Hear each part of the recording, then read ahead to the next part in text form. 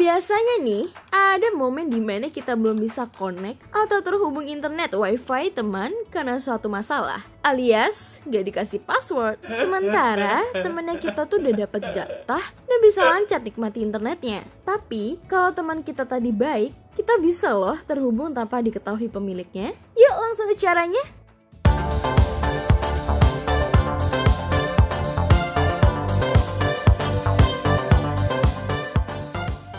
Hitung-hitung dapat wifi gratis kan ya? Oke, cara buat terhubung ke wifi punya orang lewat HP temen itu sebenarnya gampang aja. Bahkan bisa kelar dalam beberapa detik aja loh.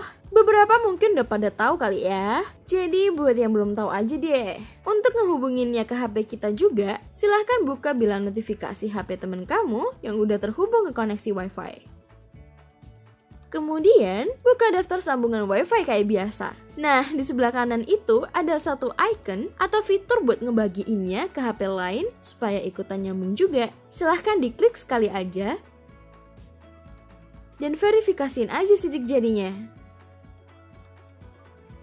Nah, bakal nongol kode QR yang bisa kita scan menggunakan HP kita. Caranya gampang banget. Fiturnya ada di pojok kanan atas nih yang buat nyekan QR.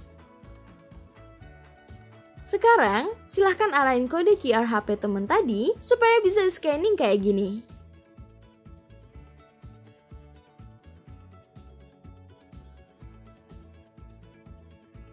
Nah, ya udah, koneksi wifi-nya udah kita dapat. Sekarang kita udah nyambung ke wifi yang pemiliknya nggak mau ngasih sambung kita. Mudah bet ya kan? Lagi pula ini emang fitur bawaan OS Android HP sih. Yang nggak punya pasti HP lama. Singkat, padat, dan jelas. Jadi sekian aja. Jangan lupa subscribe buat trik tips lain dari sini. Dan dadah!